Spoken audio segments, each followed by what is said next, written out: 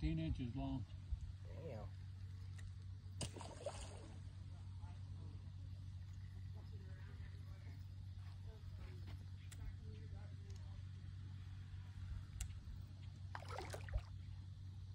Put that on that bobber? No, you don't have it. No. Oh, catch release.